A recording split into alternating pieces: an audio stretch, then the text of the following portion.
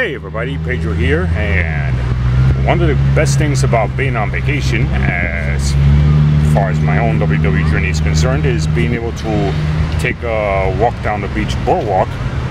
And here I am at a Rockaway Beach Boardwalk to be exact, taking a nice mini walk, trying to enjoy myself, you know, get a little sun, and you know, just just get more clarity from the challenges I deal with everyday life.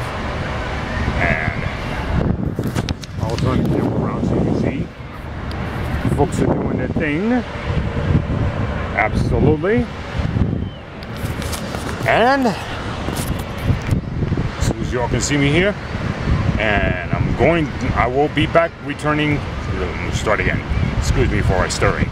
I will be returning to a WW workshop tomorrow to find out if I'm still at goal or not for my monthly weigh-in for August.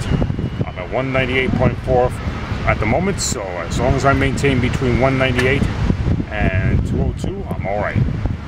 Have a great day, everybody. I'm going to continue my walk. I'll see you later.